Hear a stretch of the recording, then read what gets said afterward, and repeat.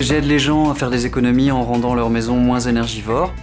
Il y a beaucoup d'éléments à prendre en compte dans ce genre de situation et c'est pour ça que les conseils d'un professionnel sont très utiles.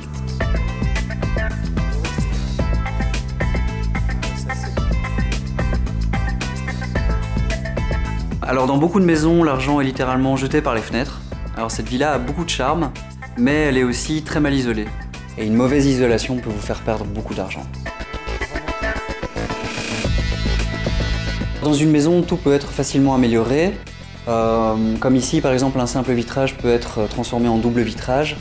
On peut facilement changer une vieille chaudière ou alors euh, isoler mieux le toit ou une canalisation, ça dépend.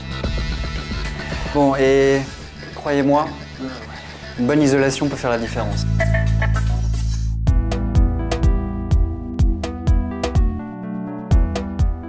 En tant que professionnel, j'ai tendance à appliquer les conseils que je donne à mes clients, euh, chez moi. Et donc on a posé de la moquette euh, un peu partout dans la maison. Parce que vous voyez, la moquette euh, joue un rôle d'isolant thermique. Et donc vous pouvez mettre votre thermostat sur 1 ou 2 degrés de moins et donc économiser de l'énergie.